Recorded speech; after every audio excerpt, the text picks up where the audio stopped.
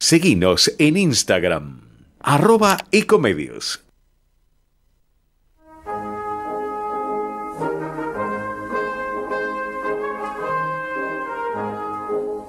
Aquí damos comienzo a Italianos y sus negocios, un programa dedicado a la promoción de negocios de empresas italo-argentinas, a las oportunidades comerciales procedentes de Italia, inversiones, productos, música, entrevistas y buenos negocios. Promueve la Cámara de Comercio Italiana en la República Argentina. Producción general Arturo Curátola. La Cámara de Comercio Italiana en Argentina ha creado la categoría de socio digital para que desde la distancia las empresas pymes y profesionales puedan acceder a oportunidades comerciales, cursos online y asesoramiento gratuito en comercio exterior, economía, Créditos ilegales. Comuníquese al 011-481-65900, 011-481-65900 o enviando un mail a ccibaires.ccibaires.com.ar. Asociese, los esperamos. En el Generación Costanera generamos energía para construir juntos un futuro mejor. Conoce más en enel.com.ar. No dejemos de cuidarnos. Usemos siempre tapaboca. Mantengamos distancia. Elijamos espacios abiertos. Ventilemos lugares cerrados. Para más información, entra a buenosaires.gov.ar barra coronavirus. Cuidarte es cuidarnos. Buenos Aires Ciudad.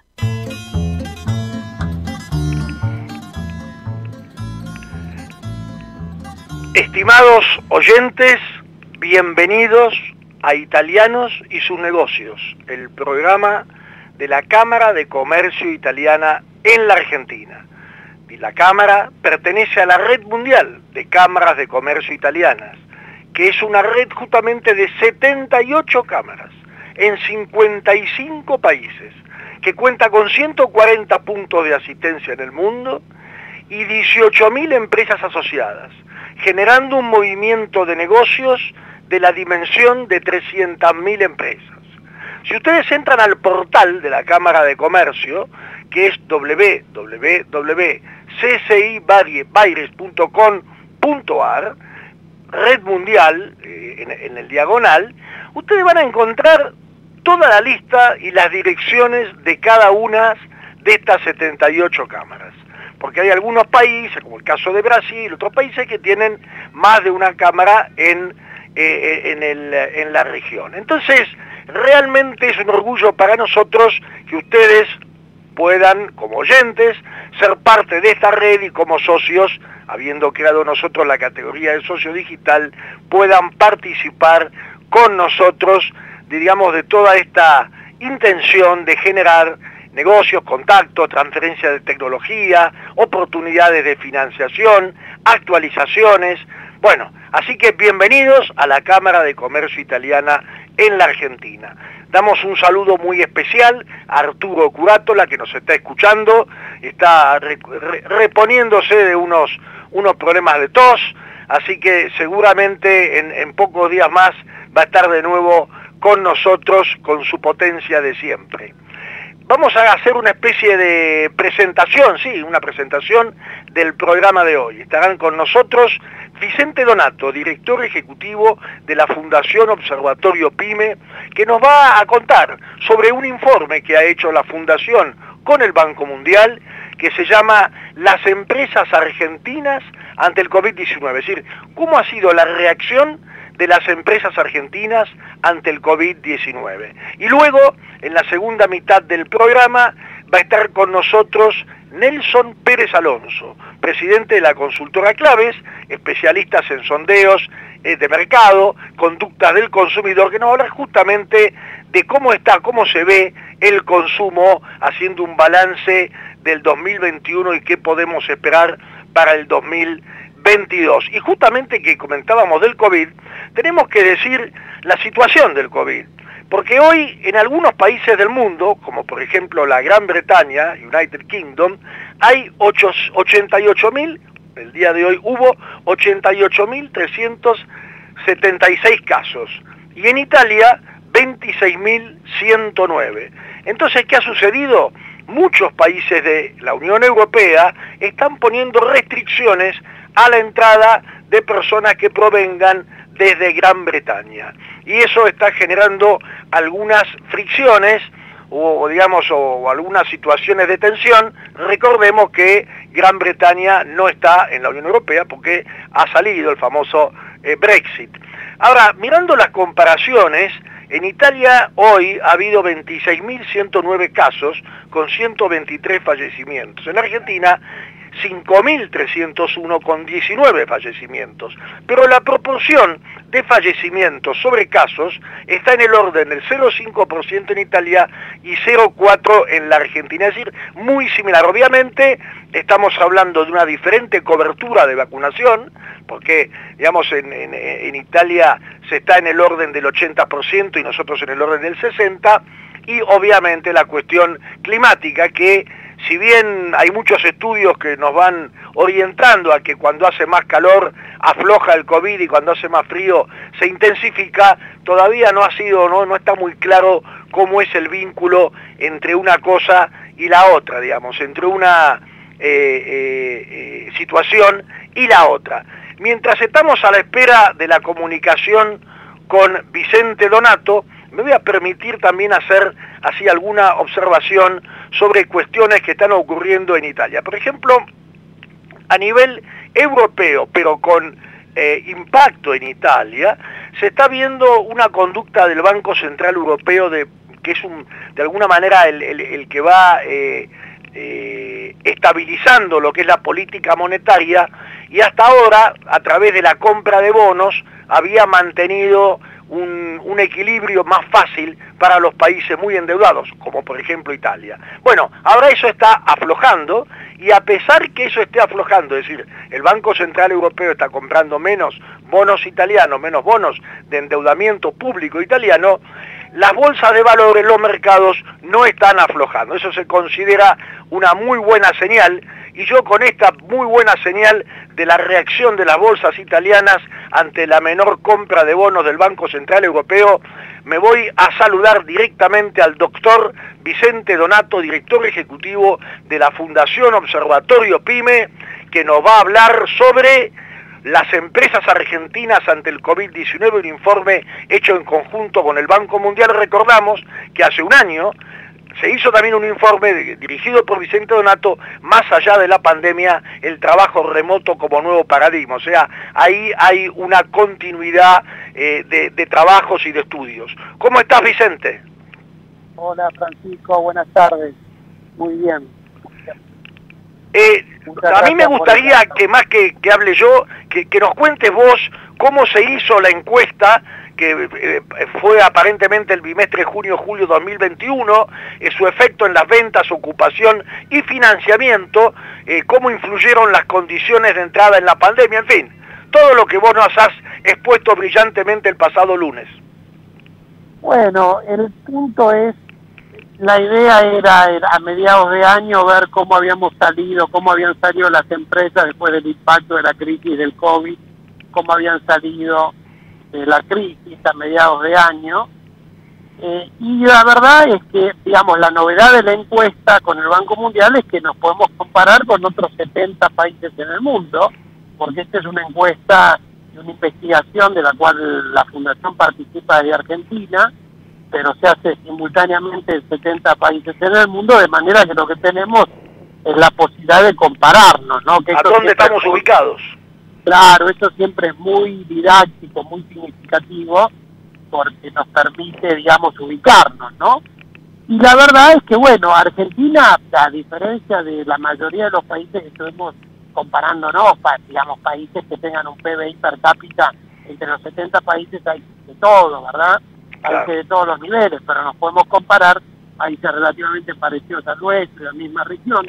Y ahí la característica que marcó es que nosotros, Argentina venía de una recesión en el 18 y en el 19, menos 3 en el 18, menos 2, no, menos 2 en el 18, menos 3 en el 19 y eso de alguna manera las empresas entraron a la pandemia en una situación muy complicada, muy complicada, además en el informe se muestra con un sistema de financiamiento realmente, digamos, de gran subdesarrollo en el país. Tenemos, el informe se muestra como Argentina eh, tiene una verdadera anomalía en cuanto al acceso al financiamiento de las empresas a nivel internacional. De manera que quedaron las empresas, arrancaron, entraron en la pandemia con esa situación. Sorprendentemente, porque justamente ya el nivel era paupérrimo en 2000, después de dos años de recesión y diez años de estancamiento. Ustedes se acuerdan que durante diez años Argentina no creció, desde 2011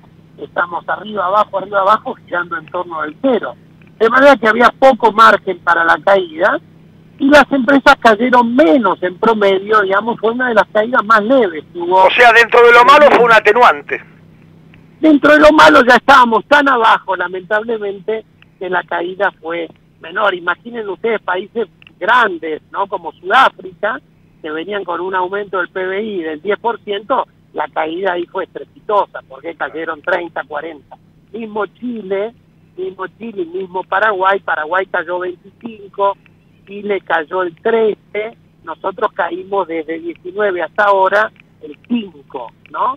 Ahora, eso era a mediados de 2019, a mediados de 2021, de manera que ya estamos todavía recuperando. Argentina ahí tuvo un comportamiento virtuoso y es bueno decirlo, eh, digamos, la, la, ayuda del gobierno a las empresas a través del ATP y créditos blandos fue bastante significativo pero, vos, marcabas, Vicente, en el estudio que había una desviación estándar muy alta, o sea que cada, eh, la caída en la Argentina fue muy heterogénea, intramercados.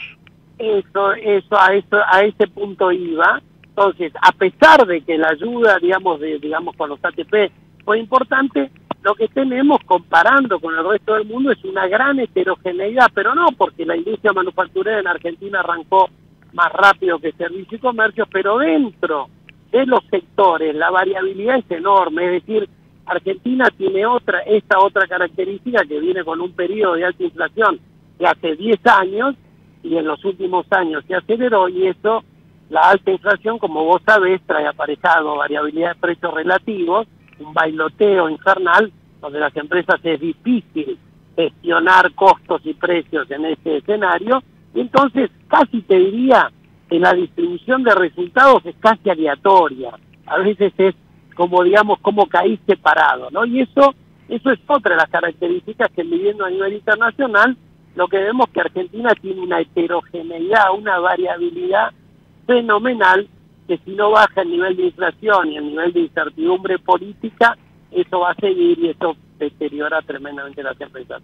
Un punto positivo es que las empresas se digitalizaron mucho, esto en relación con el informe del año pasado, ¿no? Hubo un gran, un gran proceso de digitalización, obviamente las más grandes más veloz, las más chicas menos, pero fue importante inclusive, estamos todavía abajo que Brasil y Chile, pero hubo una recuperación, una, un crecimiento del uso de aplicaciones digitales de ventas y de pagos online, ventas online, digamos, eh, algunos instrumentos de gestión del negocio que fue muy positivo, ¿verdad?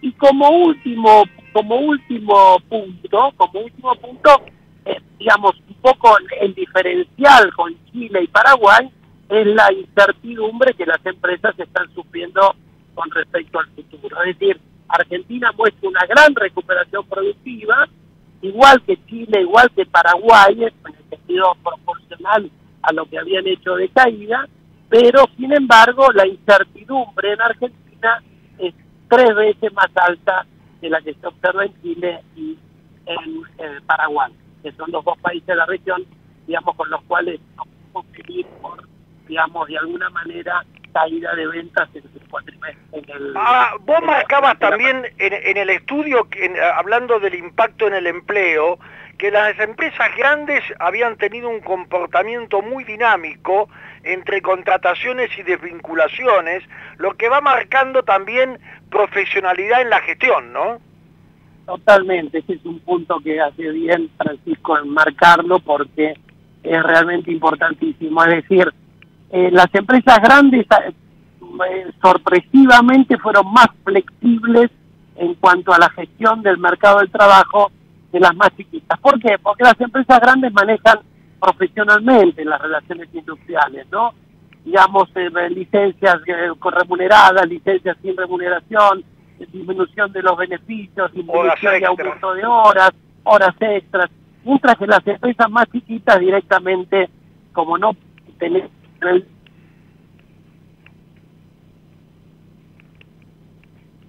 ¿no? Lo que ahora eso está afectando para volver a contratarla, porque desarmada la función de producción, digamos, cuesta rearmar el equipo de trabajo y eso está justamente perjudicando mucho el arranque de las empresas más chiquitas, porque las grandes ya arrancaron muy fuerte, las más chiquitas les cuesta más armar.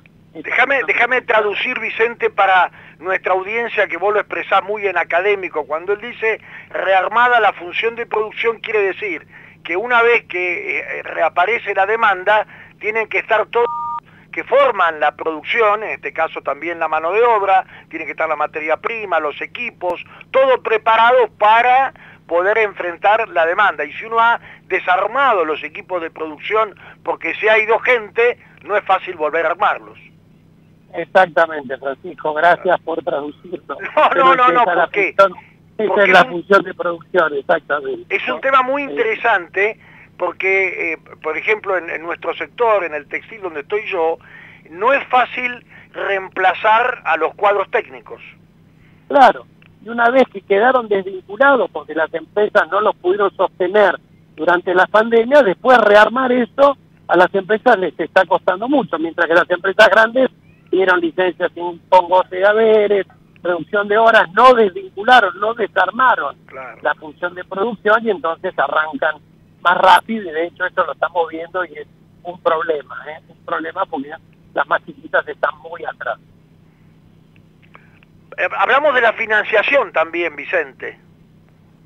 Bueno, financiación, digamos, lo que estamos, lo que vemos es que no hay, digamos, Argentina no tiene sistema financiero, no tiene sistema financiero y entonces las empresas tampoco tienen deuda y tienen una liquidez tremenda porque solo viven de sus propios recursos, del propio cash flow de la empresa. Claro, o sea que es, una, es una cosa rara que se financia inversión productiva con capital de trabajo. Sí, directamente no, digamos, no hay tanta inversión justamente porque no hay capital, no hay capital suficiente, ¿verdad? Lo que se financia, digamos, es de alguna manera la actividad más, la actividad más corta, ¿no?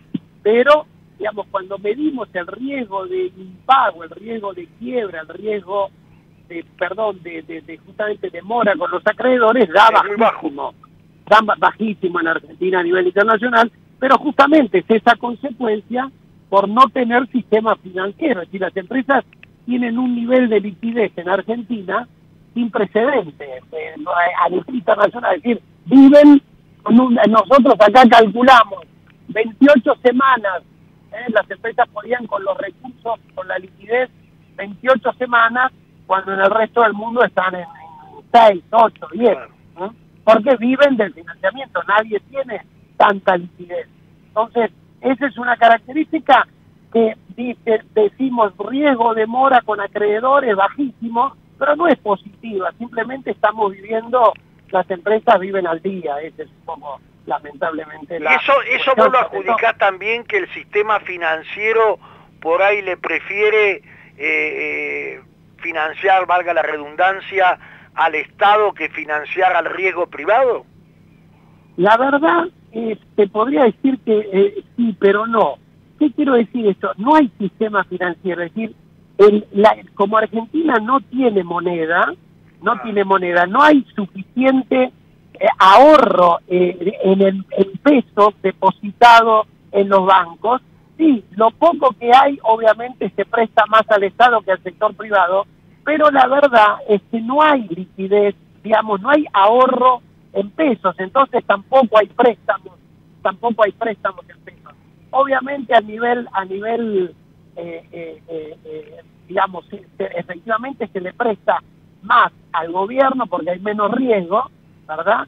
Pero eh, la anomalía argentina en eso, yo creo que no hay conciencia en la, en la dirigencia argentina de lo que es esta anomalía en cuanto a que las empresas en Argentina el crédito al sector privado es el 13% del PBI. Esos son niveles, da vergüenza decirlo, pero y con todo el respeto por el resto del mundo, pero son niveles africanos. Este nivel del sistema financiero, 13% del PBI, es un nivel del África subsahariana, no es un nivel... Chile eso llega al 80, Brasil está en el 70, eh, China ni hablar, 170, 180%, Europa de la OECD 100%, es decir, tener 13% de crédito al sector privado es no tener sistema financiero, es una anomalía fenomenal en la cual eh, Argentina está metida y yo creo que no hay una total conciencia. La, la, gente dice, sí, sí, tenemos un sistema financiero chiquito, pero en realidad es tan chiquito, es un capitalismo sin sistema financiero, funciona de una manera muy comprimida, muy extraña, muy extraña, y eso es porque Argentina no tiene moneda. O sea, le decimos, a, le decimos a la audiencia que hay un sistema financiero pequeño porque hay poco eh, plazo fijo y por supuesto poco saldo en cuenta corriente que deja la gente, no hay mercado de capitales porque tampoco hay mucha emisión de obligaciones negociables. Y entonces eh, no hay prácticamente eh, ese este, autoflujo. exactamente, se vive en un, en un capitalismo que es del siglo pasado, porque todos los capitales, el sistema crédito de dos siglos atrás, porque el sistema financiero fue una de las invenciones más importantes del capitalismo para que la rueda gire más rápido.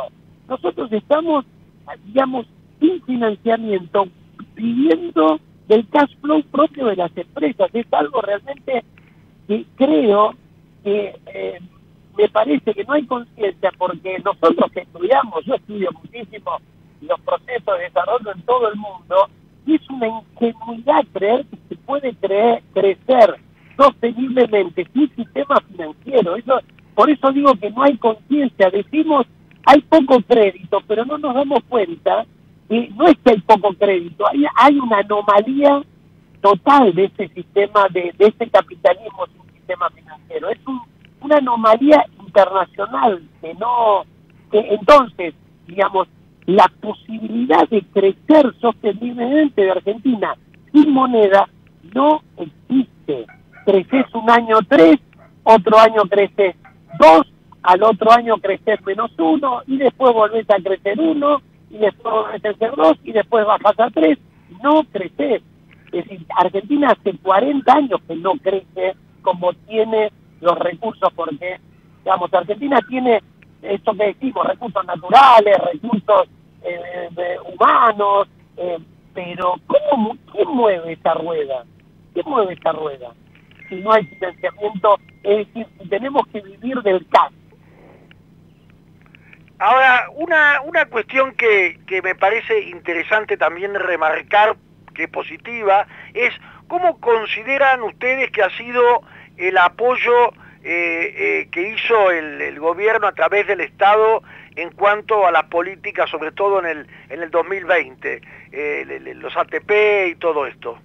No, eso fue muy positivo, eso fue muy positivo el Estado, pero justamente, mire, mira, esto es, es interesante, el gobierno hizo un enorme esfuerzo por acceso al crédito blando de las empresas, sostener los salarios. Ahora, con un país que tiene solo el 13% de, de, de, acceso al sistema financiero, el crédito blando no llega a nadie, llega a unas poquísimas empresas. Por el esfuerzo es loable del gobierno. Nosotros decimos, llegó a, no sé, 20.000 empresas, 30.000 empresas, resulta que tenemos 500.000, 600.000. Entonces, no, digamos, el esfuerzo es loable, y hay que, justamente me parece tempestiva y correcta la, la, la, los instrumentos puestos del gobierno del ATP justamente de sostener salario y crédito blando. Ahora, sostuvimos salario de las empresas formales. Todas las empresas informales más chiquitas, por eso tuvieron que desarmar también la función de producción, porque no tienen formalidad para acceder al crédito, ni tienen tampoco, ni tienen tampoco la formalidad para acceder al ATP. De manera que todo ese sector quedó totalmente desprotegido. Y quedó en la informalidad. Eh, Vicente, te, voy a pasar... Vicente, te voy a pasar una pregunta que me hace Arturo la que pobre está resaliendo de una tos, y me dice, ¿qué parámetros se consideran en el proyecto de la ley PYME que presentarían en enero? ¿Tienen alguna información ustedes de eso? No, lo que hicimos nosotros, lo que hicimos nosotros es estimar, estimar con algunos instrumentos que un grupo de empresarios quiere presentar al Parlamento, estimar cuál sería el impacto en el empleo. Los instrumentos son los tradicionales, disminución de las contribuciones patronales, resolución del tema de los despidos a través de un fondo especial o a través de un seguro como propone Teddy Caradocian, es decir, eh, y, y eh, una baja impositiva eh, de más, por ejemplo, la eliminación de créditos y débitos, el impuesto a créditos y débitos, y algunos impuestos, digamos, distorsivos, claro, que podían aumentar el capital de trabajo de las empresas. Así que no, eso es un tema que nosotros, desde la perspectiva, lo único que hicimos es evaluar cuál sería el impacto en la medida que esas medidas se tomaron. ¿eh? Ah, y, en un escenario, digamos, de alta credibilidad, porque todas las leyes PYME que se hicieron aquí, nadie les creyó y obviamente los empresarios, digamos, no creyeron que eso iba a durar y tenían razón porque no yo te agradezco, te, agradezco, te agradecemos muchísimo Vicente Donato, director ejecutivo de la Fundación Observatorio PYME, por este informe que han hecho con el Banco Mundial. Y bueno, espero pronto poder este, volver a, escuchar tu valiosa opinión. No, bueno, yo lamento dar malas noticias a veces. Este tema del sistema crediticio a mí me deprime, realmente me deprime porque creo que no hay total conciencia, pero bueno, creo que es correcto marcarlo, por lo menos quienes lo vemos, marcarlo y ponerlo sobre la mesa para que los decisores de política económica entiendan que sin moneda sin moneda no hay crédito y sin crédito no hay crecimiento. Y no hay inversión. Muchas gracias, Vicente. Buenas tardes, gracias. Gracias a vos. Vamos al corte, por favor. Desde Buenos Aires, transmite LRI 224, AM 1220, Ecomedios. Ecomedios y los números de la suerte y los resultados de las quinielas recién sorteadas. A la cabeza en la ciudad, 6.221. En la provincia, 5.860. En Santa Fe, 5.167. En Córdoba, 5.213. En Montevideo, 3.382. Y en Entre Ríos, 7.325. Montevideo a las 3 de la tarde. Auspiciado por Confitería San José, Alberdi Muriondo Mataderos. Alberdi Muriondo Mataderos. Barcacha, tortas y helados todo el año. Rivadavia 2030. No cocine más. Pizzería La Posta, San Juan y La Rioja. Fueron los números de la suerte por Ecomedios, AM 1220. Volvemos después de la última, 21 a 30 minutos. Ecomedios.com, AM 1220. Estamos con vos. Estamos en vos. La Posada Morado Ventos te espera en Pipa, la mejor playa del nordeste de Brasil, única por su bahía con delfines 12 exclusivos departamentos estilo bungalows totalmente equipados sobre una pequeña colina con suave brisa constante en un predio de 5.000 metros cuadrados. Antes o después de la playa, descansa escuchando el canto de las aves en nuestras tres piscinas circulares. Podés venir con cualquiera de las vacunas aplicadas en Argentina. www.moradadosventos.com Morada Dos Ventos, Pipa. El primer lugar cuando decidas viajar. Informate en ecomedios.com. Seguinos en TikTok, arroba ecomedios 1220.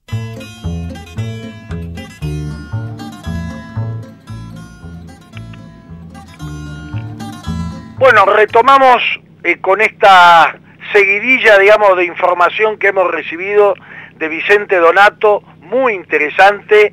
Inclusive hay un momento en el mismo informe donde se habla un poco de la actitud del empresario pyme y que a pesar de toda esta crisis, a pesar de esta brecha digital que lo obliga a tener que invertir en un paradigma a veces nuevo, sobre todo para muchas empresas eh, pequeñas, sin embargo no piensa en, emigrar, digamos, en irse del país, sino que le busca la vuelta a cómo puede encontrar la forma de hacer las inversiones necesarias para entrar a la economía 4.0, que es la robotización, y entrar a la digitalización, que es también eh, la forma en que se puede eh, eh, tratar de, atenuar todas estas, estas cuestiones que nos ha traído el virus. Y para eso, justamente, para hablar también no solamente del consumo en general, sino también en soluciones creativas que se aplican a la propia empresa, es que tenemos a la propia empresa del invitado que ahora nos va a hablar, es que tenemos aquí hoy con nosotros a Nelson Pérez Alonso, presidente de Claves, que son especialistas en sondeos, estudios sectoriales, estudios especiales, eh, ampliación y determinación de mercado. ¿Cómo estás, Nelson? ¿Cómo te va? Muy bien, Francisco, gracias por llamar. Bueno, gracias a vos por, por tu disponibilidad, vos siempre te, te llamamos en las difíciles cuando hay que completar el panorama que nos ha dado antes Vicente Donato, el director ejecutivo de la Fundación Observatorio PYME, hablando de la reacción de las empresas frente a la, al COVID-19 en comparativa con muchas otras en el mundo, es un estudio que hizo en el Banco Mundial. Pero ahora queremos ir a cuestiones como el consumo, pero tal vez antes contanos de las soluciones creativas para conciliar el trabajo digital con el trabajo presencial. Sí, eh, yo creo que la, pandemia, bueno, eh, obviamente la característica del ser humano como Homo sapiens en los últimos 20.000 años ha sido adaptarse y, la pandemia nos aceleró la adaptación a la gran mayoría. Eh, muchos quizás ya tenían empezado un proceso, pero todo el tema digital se potenció, se aceleró, las compras online se aceleraron. Este, hoy en Argentina el consumo online está entre el 7, el 8 y en algunos segmentos el 9%, cuando estaban antes de la pandemia en el 2 o el 3%. O sea que más que se duplicó. Y entre un 200 y un 300% fue el aumento. Esa es más o menos la proporción en muchas categorías de consumo. Cambiaron incluso el foque de compañías tradicionales tratando de llegar directamente al consumidor, eh, como compañías como Felfor, Arcor, Unilever, con tratando de plantear que el producto te llegara directamente de la fábrica al consumidor. Eh, creo que hubo muchos cambios y, una de las cosas que, más se trató de desarrollar son herramientas para eh, mejorar y darle trazabilidad a la comunicación y sobre todo en redes comerciales, en las redes como las franquicias, sucursales. Eh, lo hemos hablado, el sector de franquicias es uno de los sectores más dinámicos de la economía argentina, incluso con 20% de las empresas exportando. Entonces, pero muchas veces se utilizan herramientas caseras para... ¿Qué tipo de mercados son los de exportación de las franquicias, Nelson? Es un mercado de exportación de servicio como otros tantos, eh, como otros tantos que no no están medidos por la aduana porque no pasa en general lo que se venden son este, licencias, royalty, etcétera, y eso no pasa por la aduana, por lo tanto no están medidos en todos los análisis de comercio exterior. Se estima que Argentina exporta 6.300 millones de dólares en servicios al exterior y obviamente, bueno, lo que está pasando desde el punto de vista macro, que una brecha del 100% no, no favorece, no alienta a que las divisas vengan a Argentina, con lo cual hay muchos que buscan otras alternativas. O sea, se termina triangulando. Y esa es la realidad, digamos, hay cosas que no se miden o no se dicen, pero si a una persona que vende un servicio al exterior, cuando le vas a pagar si vendió 100 dólares le da 100 pesos y el, y el señor este, quiere comprar una casa en Buenos Aires que sabe que tiene que pagarla en billetes verdes, eh, los 100 pesos resulta que terminan siendo la mitad. Terminan siendo la mitad, hay mucha diferencia. Así que, digamos, lamentablemente hay cosas que no, no, no ayudan, porque yo creo que la única salida para esto es la exportación, o sea, es, es el único proceso virtuoso, pero volviendo a lo digital, hay muchas empresas, a ver, mm, en Argentina tuvimos una caída de 42.000 quits del 2018 al 2021. Eh, pero eso también algunos cayeron en el 2019. Por supuesto, por supuesto, por supuesto. Todo la, de alguna forma la situación económica final o lo, que fue la aceleración de la devaluación de la final del gobierno anterior, más la pandemia, o sea, todo el contexto económico y vamos a meter las dos gestiones, la anterior y la actual, claro. más la más la pandemia, o sea, sin entrar a, a ver quién generó mayor parte, digamos, la realidad es que tenemos 42.000 empresas menos. A pesar de eso, hay algunos sectores que crecieron las compañías, como por ejemplo el sector de logística y particularmente el segmento de la última milla, hay más empresas que antes. El ¿Qué, quiere decir el segmento ¿Qué quiere decir el segmento de la última milla? todo lo que es paquetería eh, y digamos, eh, no, necesariamente los grandes volúmenes, no el pallet, no el semi, eh, sino el, el, último tramo, todo lo que es paquetería, cuando hablamos de pequeños paquetes que pueden ser de 6, 8 hasta 20 kilos, digamos, la logística y hacer que los productos lleguen al consumidor de manera eficiente fue una de las cosas que más se aceleró porque al principio eh, vos hacías compras en, las páginas de los supermercados, pero el pedido te llegaba una semana después y, obviamente con, con, graves dificultades. Hoy todo eso se aceleró y por otro lado eh, se potenció todo lo que es la trazabilidad en la comunicación, o sea, las redes de franquicias, eh, que estamos trabajando con muchas de ellas, em, digamos, básicamente dejaron de usar herramientas gratuitas como por ejemplo el WhatsApp, el Gmail o el Google Drive. O sea, si alguno de los oyentes tiene una red comercial con vendedores, distribuidores, clientes, etcétera, pero para la operación comercial utilizás WhatsApp o los pedidos tomás por WhatsApp, por Gmail o, por, o la, lista de precios la distribuís por Google Drive, no tenés ninguna trazabilidad. Eh, eso fue buena parte de un gran desarrollo digital, parte de, esto todavía a mitad de camino, como por ejemplo el tema de los QR.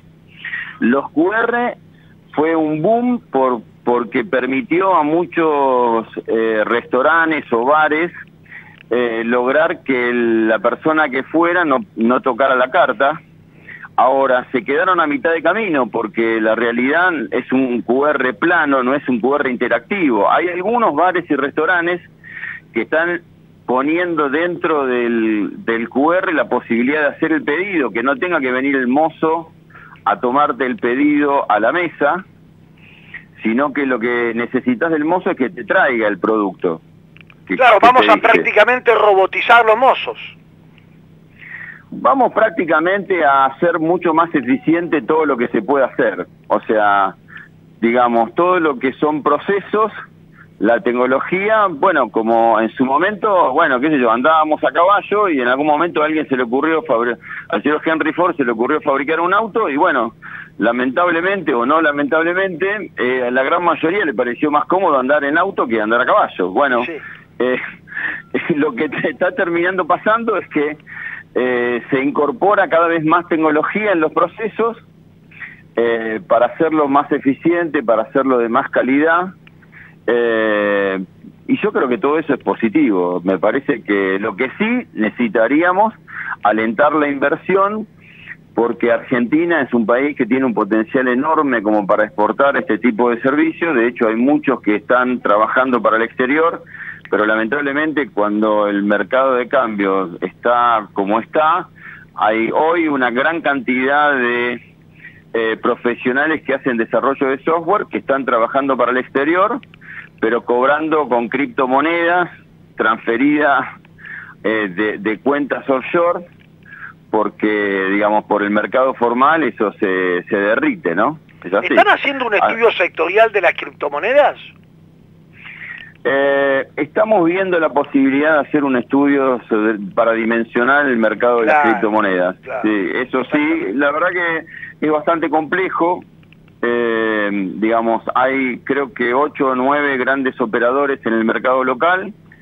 Eh, bueno, si bien sabemos que no vamos a poder darle exactitud, pero que queremos darle una, una aproximación al, al, a la medición. Así que bueno, nada, está, estamos avanzando mucho en la integración de lo que es el flujo de datos con la trazabilidad y con lo que es el desarrollo de software y yo creo que esa ha sido una de las grandes cosas que, ha permitido la pandemia.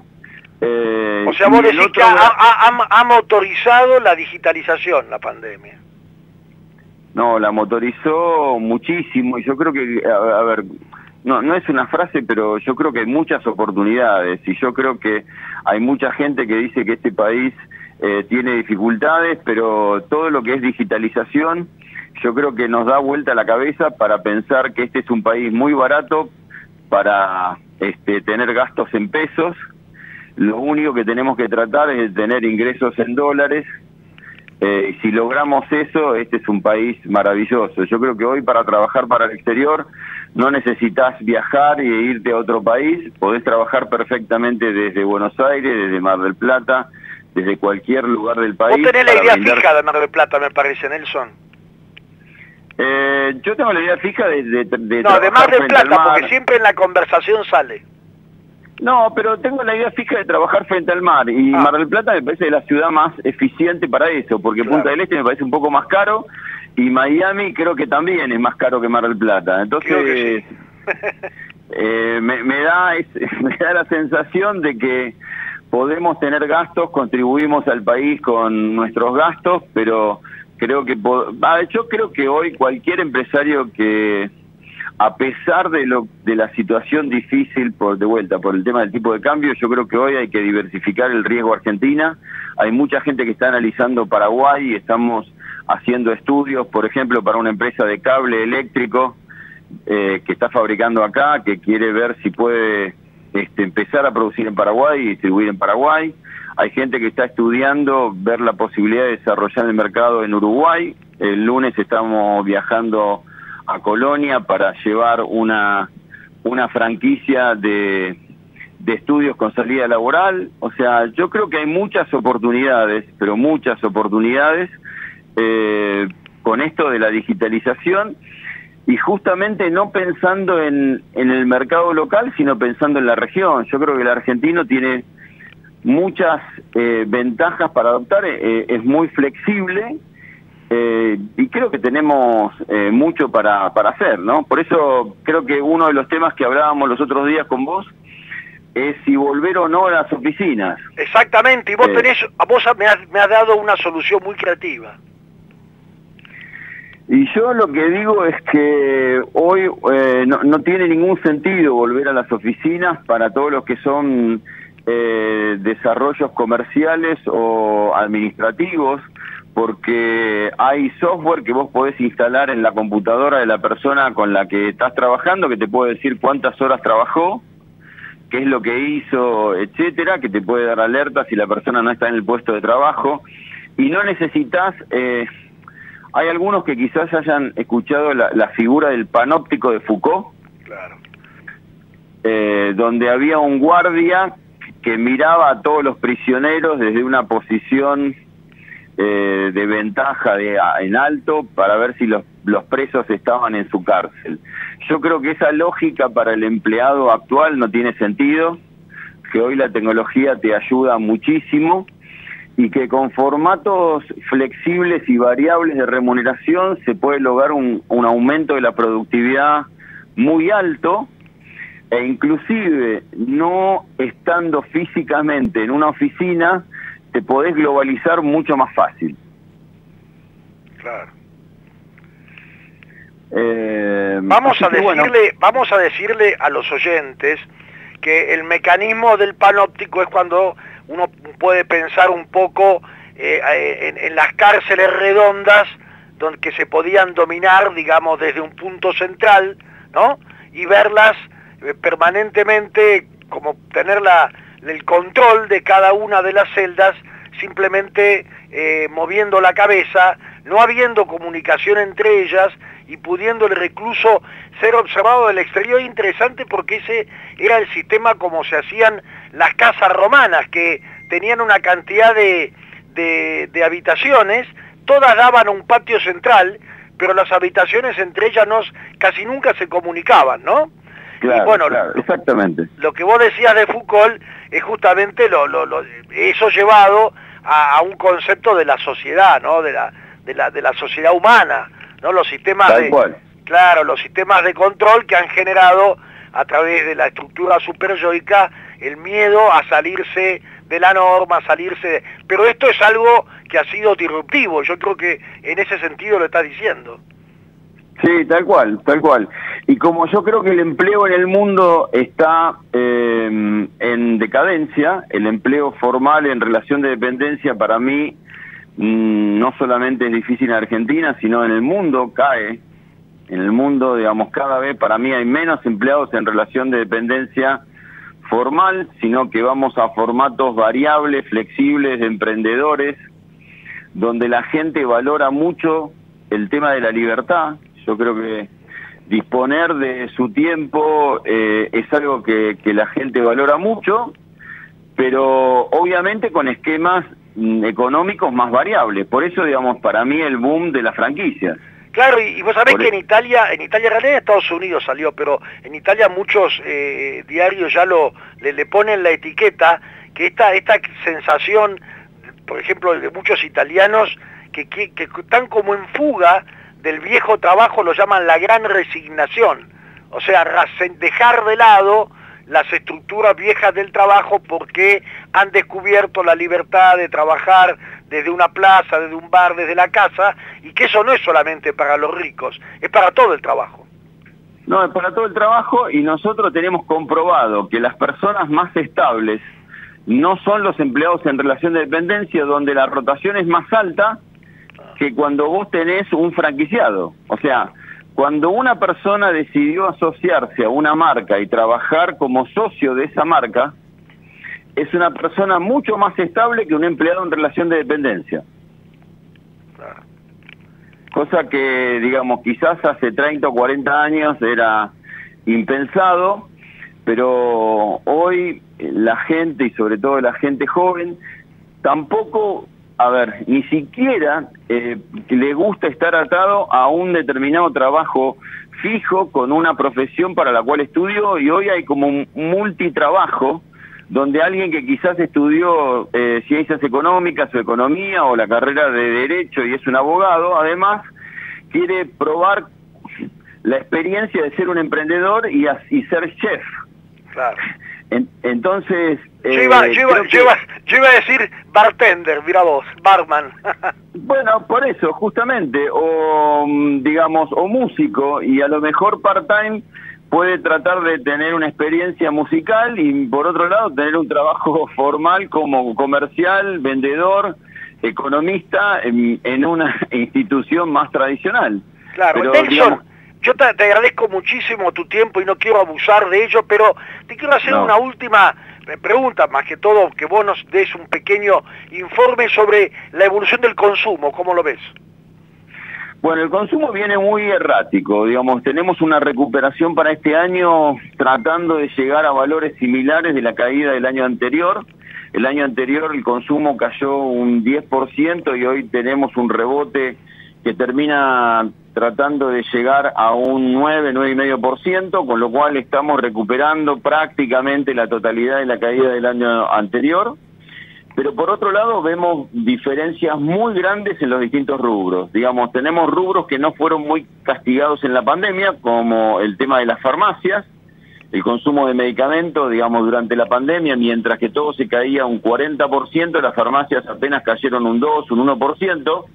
Ahora, ese segmento también ahora está con caídas y hasta un poquito más altas, donde tenemos caídas del 5 o 6%. Mientras que por otro lado, eh, tenemos algunos segmentos que han tenido incrementos después de haber tenido pérdidas muy significativos. En ropa deportiva estamos teniendo incrementos del 50 eh, al 60, 70%.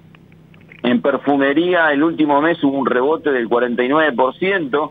Bueno, eso, eso, eso se nota en la cantidad de avisos de publicidad que hay de perfumería, ¿no? En los medios. Totalmente, por eso te decía que tenemos eh, una diferencia en el comportamiento de los sectores eh, muy fuerte, digamos, no mm, hay muchos que habían perdido eh, muy fuertemente. Bueno, todo el tema de hotelería y restaurantes es algo de lo que más se está recuperando. En librerías, el último mes dio más 90%, ah. eh, que bueno, obviamente, digamos, durante la pandemia fue prácticamente lujo. Entonces lo que tenemos es un comportamiento muy errático de unos con otros, todavía, digamos, creo que no se puede hablar de crecimiento eh, y veremos si el año que viene tenemos tasas positivas. Y, un poco lo que estamos reflejando es esa diferencia eh, donde, bueno, hay que monitorear uno a uno y, ver cómo viene con, comparado con el resto. Mueblería nos dio 17%, textil e indumentaria, digamos, tuvimos recuperaciones del 24, 29, 38% y ahora bajaron al 7 y 8% en los últimos meses. Hay problemas en el segmento de neumáticos por las ventas porque hay falta de producto. Tenemos caídas del 12 y el 14% los dos últimos meses. Entonces, eh, es como que hay que seguirlo día a día y no tenemos un comportamiento equivalente en todos los segmentos, así que eso es lo único que podría tratar de resumirse. Hay que seguir con el termómetro y viendo cómo se van dando las cosas con las restricciones de importación y viendo si la gente, digamos, con los pocos pesitos que va recuperando, puede ir este, arrimando un poquito más los valores. Bueno, y vamos, y vamos a ver cómo pasamos el verano, ¿no? Que, me, que, la verdad que hay un poco de, digamos, de curiosidad para ver cómo va la evolución, sí, bueno, hay, curiosidad, yo que seguramente va a ser una gran temporada para para todo lo que son destinos turísticos argentinos. Algo que hablábamos el otro día con vos, también cambiaron hábitos en cuanto al consumo en, en distintos lugares no solamente el tema de shoppings y, centros eh, comerciales a cielo abierto, donde se está consumiendo mucho más que tradicionalmente lo que se vendía en los shoppings. Lo mismo pasa entre con el negocio de proximidad y las grandes superficies. No se recupera del todo los mayoristas porque la gente, digamos, no le alcanza para las grandes compras. Yo creo que, bueno, veremos un verano donde la gente, digamos, fundamentalmente va a estar consumiendo en el mercado interno y ojalá que lentamente podemos, podamos alentar alguna recuperación que se pueda prolongar en el tiempo. Seguramente, te agradezco muchísimo Nelson Pérez Alonso, presidente de Claves, estudios sectoriales, eh, sondeos, estudios de mercado, y bueno, eh, nos volveremos a, te volveremos a convocar prontamente. Muchas gracias, Nelson. Cuando puedan y que ojalá lo, encontremos de vuelta Arturo nuevamente con nosotros. Seguramente. un abrazo grande. muchas gracias, Nelson. Bueno, vamos a pasar rápidamente, porque la verdad que se nos vino un poco el programa encima, el horario de cierre, pero algunas noticias de la Cámara de Comercio Italiana en la Argentina. En el Argentina, uno de nuestros socios recibe el sello verde de la ciudad de Buenos Aires, en el Argentina, representada por su CEO Claudio Cunha, recibió el sello verde, un reconocimiento a la gestión de residuos que otorga el gobierno de la Ciudad Autónoma de Buenos Aires, obteniendo el rango de buenas prácticas y compromisos, compromiso con una gestión de residuos responsable. En él se distingue en esto a nivel global por su compromiso con el medio ambiente y por la sostenibilidad. Este reconocimiento confirma la seriedad del trabajo realizado desde la distribuidora Edesur Argentina. Y también otro distinguido socio, Pirelli ha sido, Pirelli Neumático ha sido reconfirmado como líder mundial en la lucha contra el cambio climático. O sea, vean también otra eh, importante y, relevante actividad ambiental.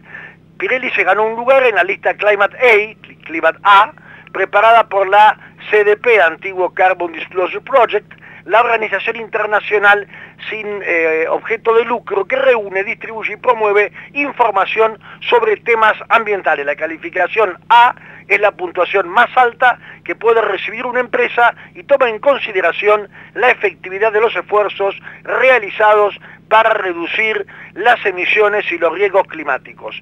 Con esto agradezco muchísimo a la audiencia y hasta el próximo programa. Gracias. No dejemos de cuidarnos. Usemos siempre tapaboca. Mantengamos distancia. Elijamos espacios abiertos. Ventilemos lugares cerrados. Para más información, entra a buenosaires.gov.ar barra coronavirus. Cuidarte es cuidarnos. Buenos Aires Ciudad. Enel Generación Costanera. Generamos energía para construir juntos un futuro mejor. Conoce más en enel.com.ar. La Cámara de Comercio Italiana en Argentina ha creado la categoría de socio digital para que desde la distancia las empresas pymes y profesionales puedan acceder a oportunidades comerciales, cursos online y asesoramiento gratuito en comercio exterior, economía, Créditos ilegales. Comuníquese al 011-481-65900, 011-481-65900 o enviando un mail a ccivaires.ccivaires.com.ar. Asociese, los esperamos.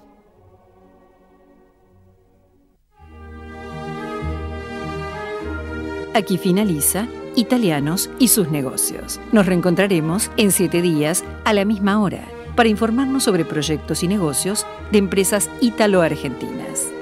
Promueve la Cámara de Comercio Italiana en la República Argentina. Producción general, Arturo Curátola.